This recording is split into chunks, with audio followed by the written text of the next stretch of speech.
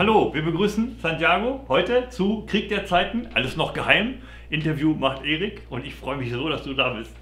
Und ich freue mich auch, dass ich dabei bin. Hallo Santiago, du weißt ja noch gar nicht, was dich erwartet. Ich werde dir jetzt ein paar Fragen stellen.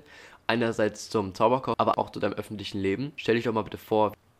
Mein Name ist Santiago Ziesmer. Ich bin Schauspieler, komme aus Berlin und ähm, arbeite nicht nur auf der Bühne und äh, vor der Kamera ab und zu, sondern hauptsächlich auch vor dem Mikrofon als Sprecher, zum Beispiel als Synchronsprecher.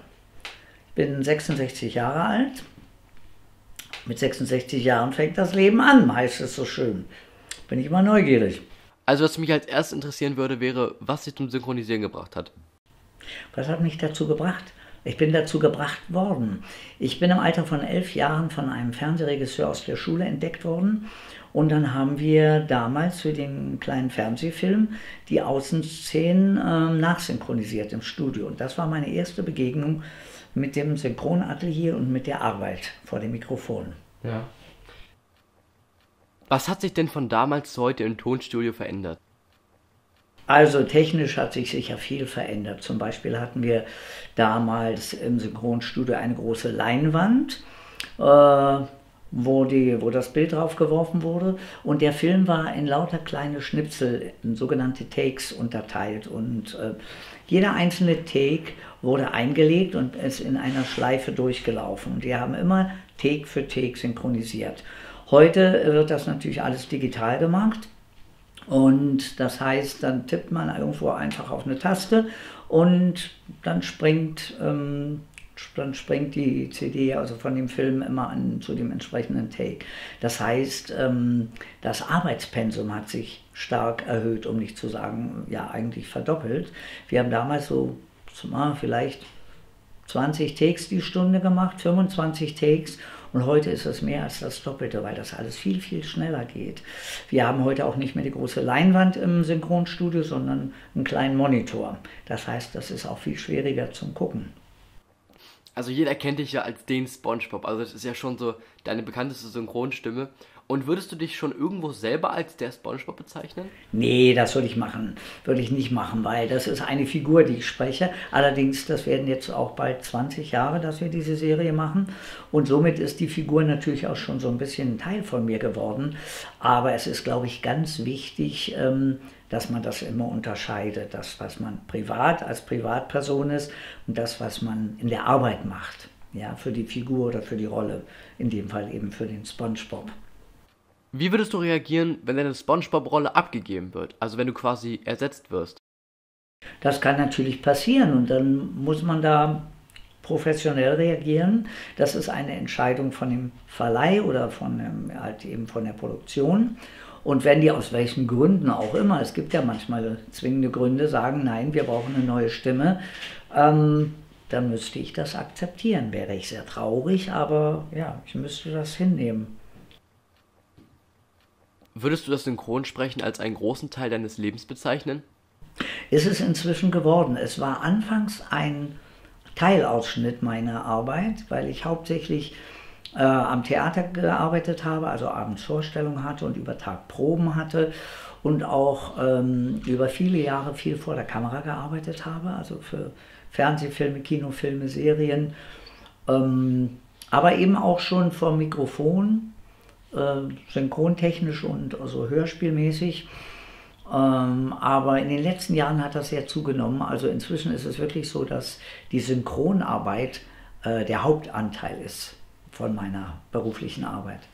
Santiago, könntest du uns vielleicht einen kleinen Ausschnitt deiner Arbeit zeigen? Also so einen kleinen Einblick geben, äh, wie es so ist, wenn du hinter Mikro sitzt? Naja, also wie gesagt, wir haben ja gerade darüber gesprochen. Am bekanntesten ist aktuell, glaube ich, der kleine gelbe Unterwasserschwamm. Ja. Der SpongeBob. Und der spricht dann zum Beispiel so: Hallo Patrick, gehen wir morgen wieder Quallen fischen? Äh, äh, dann gab es eine Serie, alle unter einem Dach. Ähm, die hieß im Original Family Matters. Da habe ich den Nachbarsjungen gesprochen, also synchronisiert.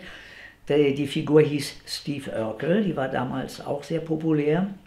Das war so ein junger Bursche, so ein farbiger Nerd mit einer riesen Brille und so Hochwasserhosen und mit Hosenträgern. Und der hat dann immer so gesprochen: Hallo Laura, Halleluja Winslows. Oder dann hat er irgendwas umgeworfen oder so und hat er mir gesagt, war ich das etwa? Das war der Steve Urkel, ganz bekannt aus den 90er Jahren. Und seit vielen, vielen Jahren spreche ich auch in der Kinderserie Winnie Pooh, das kleine Ferkelchen, das Piglet. Puh, Bär, der Wald ist so dunkel und dann kommt der Hepperlumps, du liebe Güte. Das mache ich also sehr lange. Und dann gibt es einen amerikanischen Schauspieler, den ich sehr oft synchronisiert habe, Steve Buscemi in Filmen wie Con Air, Armageddon, Chuck und Larry, The Death of Stalin. Den habe ich sehr, sehr oft gesprochen. Wow, da sieht man ja mal, was alles mit der Zeit so zusammenkommt. Hast du eigentlich Haustiere? Habe ich gehabt. Ich war immer tierlieb und habe immer, ich bin ein ganz großer Katzenfan. Ich habe immer Katzen gehabt. Aber es war so, da ich berufs bedingt auch oft unterwegs war, brauchte ich immer jemanden, der dann die Katzen versorgt hat. Das hat lange Jahre meine Mama gemacht. Und dann, hm, als die Mama nicht mehr da war, meine Schwester. Mhm. Die ist inzwischen aber auch in diesem Jahr verstorben. Ich habe jetzt niemanden mehr, der sich kümmern würde. Und äh, ich würde jetzt nicht irgendwie fremde Leute in die Wohnung lassen, um die Katzen zu versorgen oder so. Das war, wie gesagt, im Familienverband war das was anderes. Das heißt, äh, die letzten beiden Katerchens, die ich hatte, die sind jetzt auch verstorben. Und ich denke, wenn man die Verantwortung übernimmt für Haustiere, dann muss man auch absichern, dass man sich um die kümmern kann. Und das kann ich im Moment nicht mehr. Und deshalb habe ich zurzeit leider, leider keine Haustiere. Hast du ein Lieblingstier? Ja, ich bin ein riesen Katzenfan. Wenn du ein Tier sein könntest, was wäre das? Naja, ich bin vom Sternzeichen her Löwe. Und das, wenn, wenn man so will, ist das ja auch eine große Katze. Ne? Im Prinzip Dann wäre ich schon, gerne ja. ein Löwe. du kannst weltweit eine Sache verändern. Was wäre das? Oh Gott, das klingt immer so ein bisschen klischeemäßig und abgedroschen, aber ich würde mir wünschen, wenn, das funktionieren würde, Frieden auf der Welt. Wenn man sich überlegt, wo es im Jahr 2019, wir wechseln in das Jahr 2020, wo es auf der Erdkugel noch überall Kriege gibt und Menschen getötet werden und sterben so sinnlos aus meiner Sicht. Äh, also ich würde mir an erster Stelle immer Frieden für alle Menschen wünschen. Gibt es einen Prominenten, also eine Person des öffentlichen Lebens, die du gerne mal kennenlernen würdest? Oh, das ist schwer. Da gibt es sicher, wenn mehrere. Aber jetzt sagen wir mal, so ein Vorbild oder Idol oder sowas gibt es eigentlich nicht. Also es gibt keine Person, der du gerne mal ein paar Fragen stellen würdest? Nee, also keine, keine bestimmte Person. Nee, könnte ich nicht sagen. Was hast du denn außer dem Synchronisieren noch so für Hobbys? Für Hobbys, ja, ich bin ein großer Kinofan, gehe gerne ins Kino, gucke mir Filme an. Äh, höre aber zu Hause auch gerne in meiner Freizeit Hörspiele. Hast du schon den Star Wars Teil gesehen? Nein, habe ich noch nicht gesehen.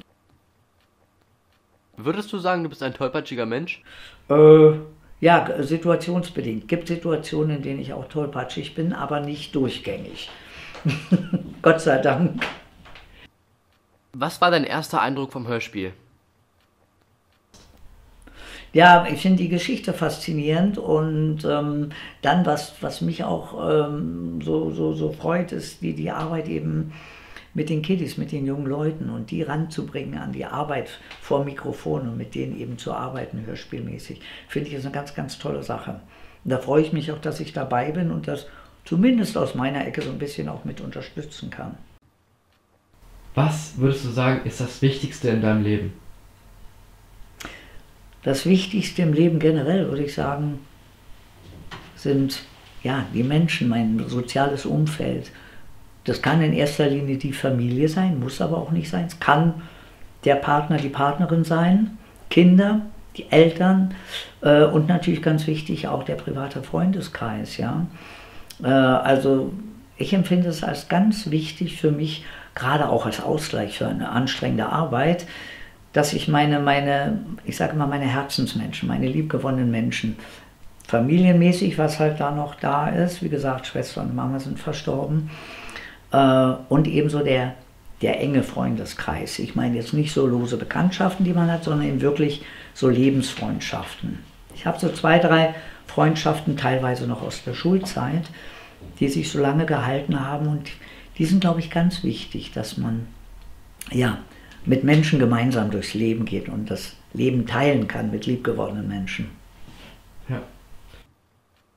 Gibt es was, wo du sagen würdest, das macht mich besonders? Och, das ist immer schwer, über einen selber was zu sagen.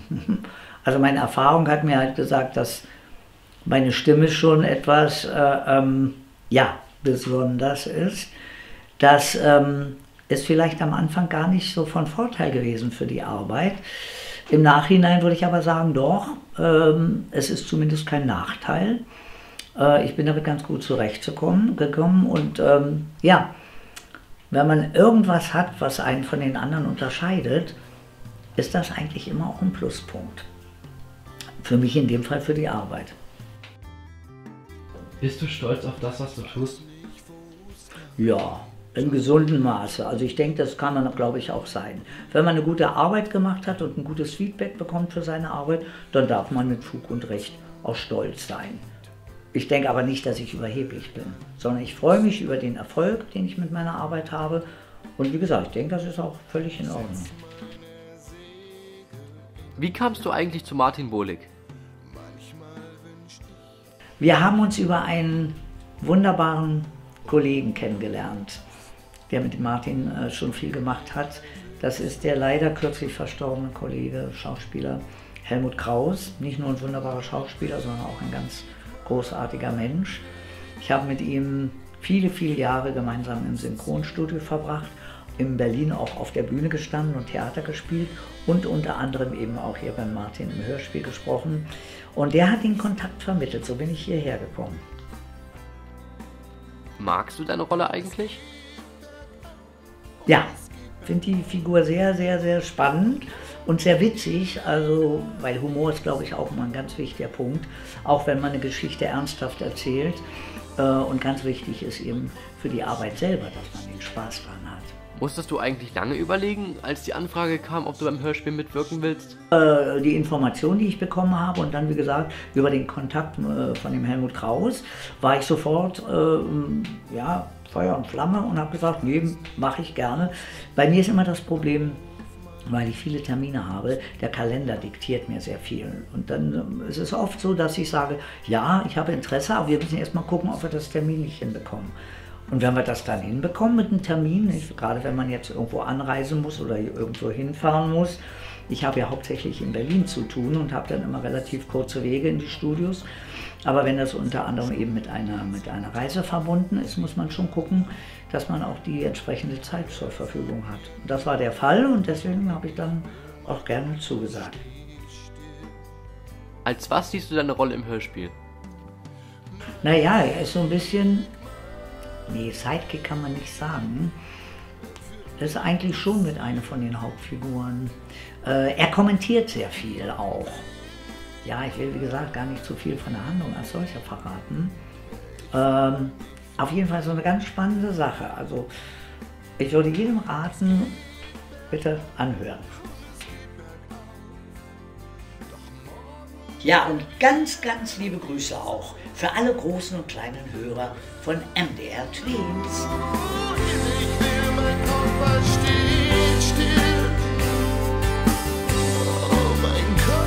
Flint,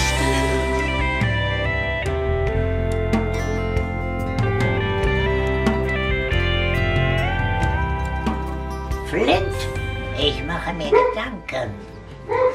Ich mache mir auch, wenn der Hund dauernd bellt. okay. Was macht der Hund in der Aufnahme? Mein Weg, er führt mich ans Ziel. Mein Weg, mein Weg.